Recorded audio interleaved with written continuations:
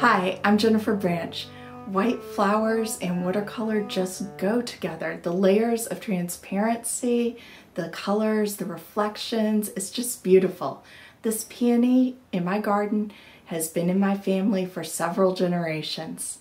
It's absolutely stunning. Let's paint.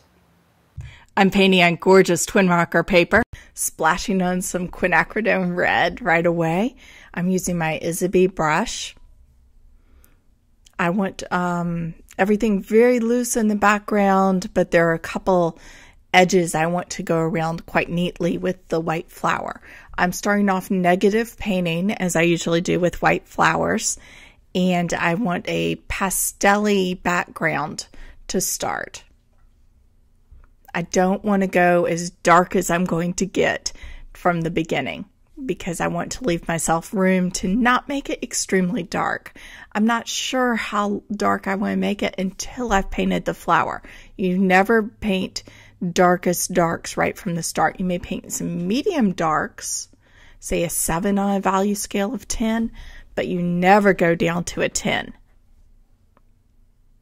Because when you have the one wide of the paper to start with, then you can't gauge things well. Most of your painting's going to be, say, a four to a six, and you don't know exactly how that's going to be until you get started. It may turn out that you want most of your painting to be a two or a three, in which case a dark, dark is really going to show up and you want to limit it. So, exactly where you're going to be on that value scale, exactly where the middle part you don't know until you've started painting. So I usually, on a white flower, I paint all around. White flowers are terrific to paint in watercolors. They're just amazing. And I usually start with negative painting the white flower.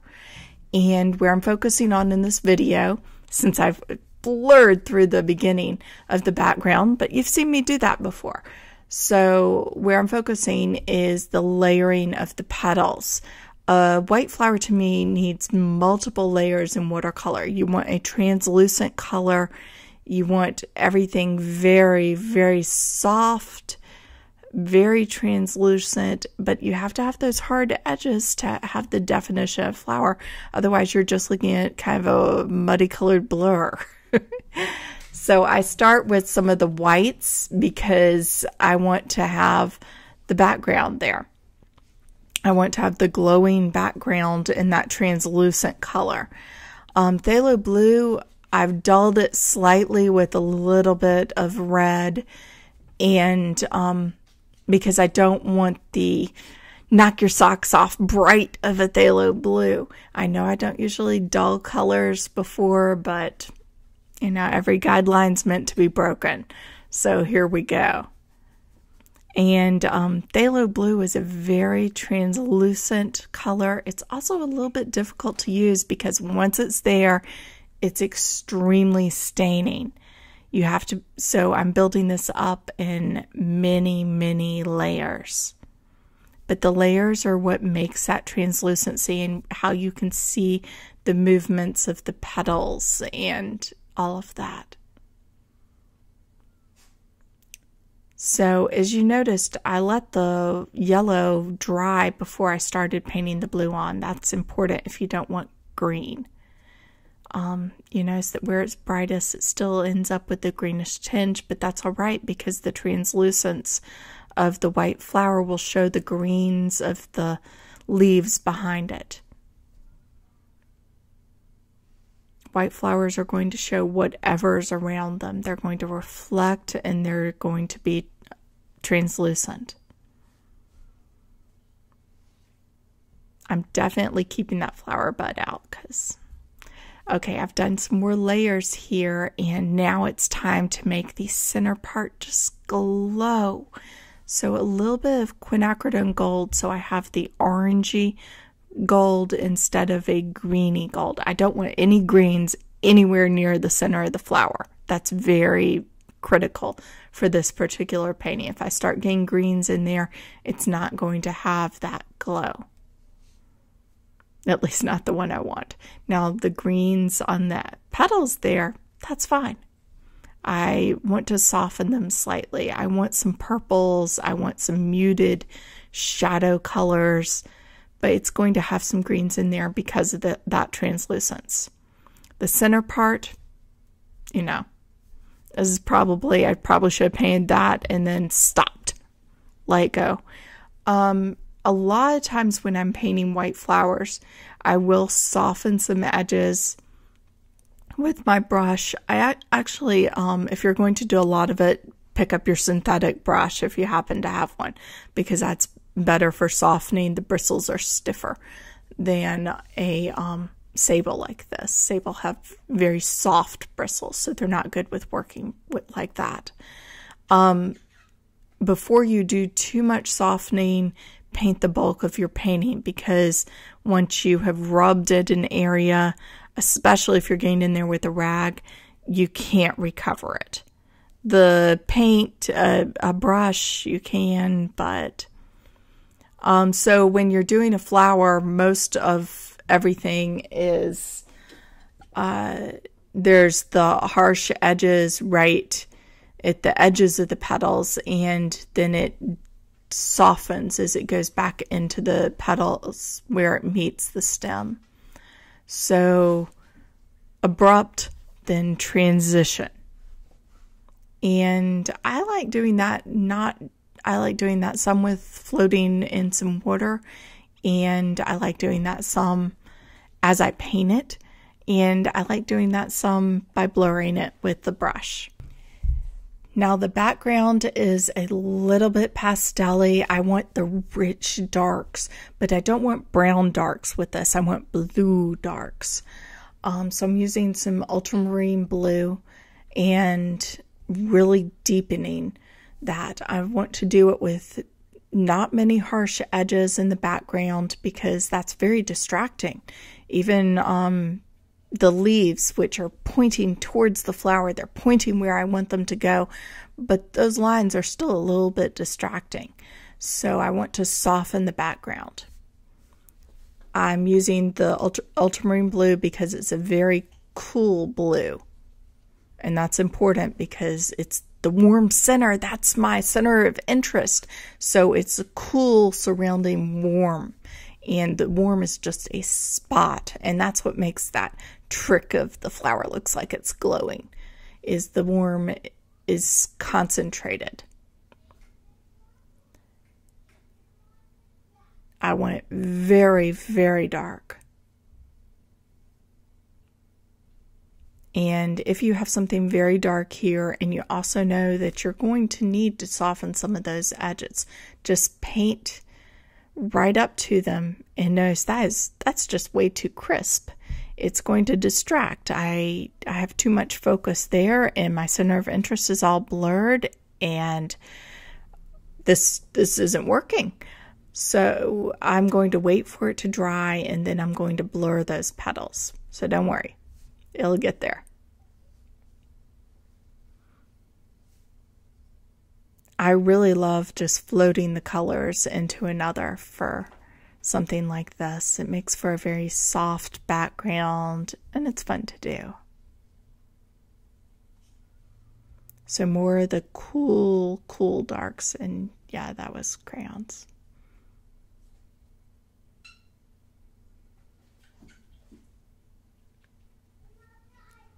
Just move around your painting.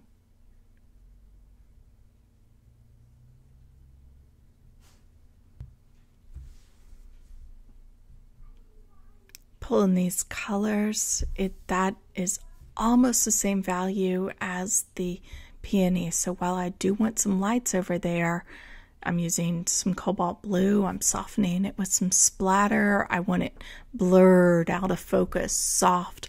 It's really this gorgeous gar that'd make a beautiful painting in its own right, but it's not the center of this painting. And that's the key is know what your focus is, direct all of the attention towards your focus. Some more darks. Get some nice dark phthalo green. Phthalo green, all the phthalos are extremely staining. So Use them only where you're sure. And don't wear your best clothes to paint in.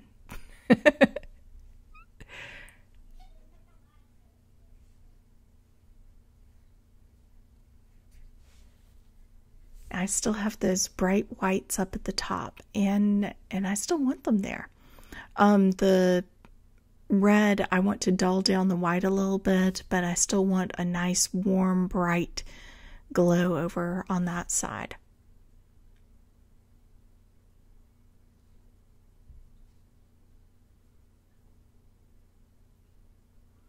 See, I'm just moving around and adding a little bit more dark, especially right around the flower, because that's where my center of interest is.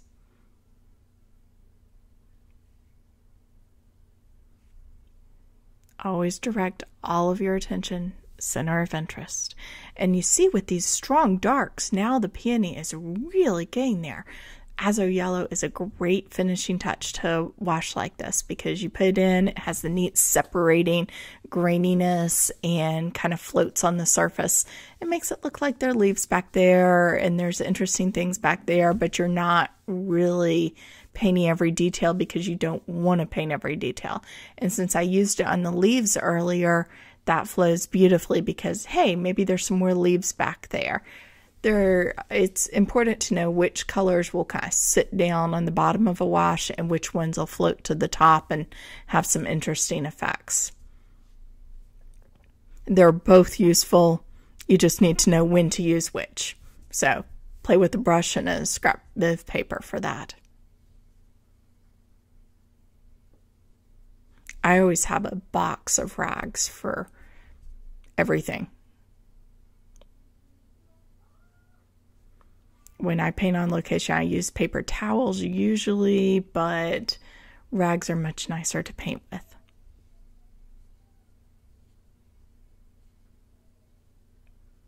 Just those strong darks in there really making it come out.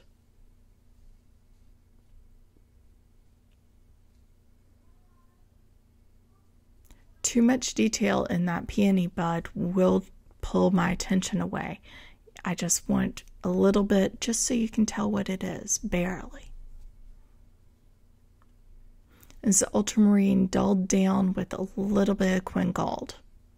Ultramarine um, pink dulled down. And a little bit of the phthalo blue because I've used both those colors earlier and um, I'm wearing a very soft gray. Now, when I do mix on my palette, which is pretty unusual for me, but you never you never ignore a technique. I will only mix a very small amount at any time and usually leave the possibility of mixing on the paper. The quinacridone red here for those little petals that just they're just tinged with this bright red. Really gorgeous. I wish you could see these flowers. They're just, they're beautiful. I have a reference photo on my website at paintingwatercolor.com. So if you want to paint along with this, I would love it. Um, post your paintings on Instagram with the hashtag paintingwatercolor. And it would be great if we could all have fun painting together. I knew I would add these little red petals because they're an important part of the peony. However, they're great because they draw my attention to the center of interest where I want it to be. Little bright red details. Now, I have used the reds in other places in the painting, so they're not going to look cut out, which bright red um, petals on a white flower could very easily look cut out. Um, they just draw my attention right into the center of interest. And I have a beautiful peony painting. I hope very much that this inspires you to paint some beautiful white flowers, white flowers in watercolor, perfect. And I can't wait to see what you do. If you'd like to see more information on this, please visit my website. I have a link to the reference photo and the lessons in the description. Please subscribe if you've liked this painting and check out my other YouTube videos. Lots of flowers. Thanks a lot for watching. Happy painting.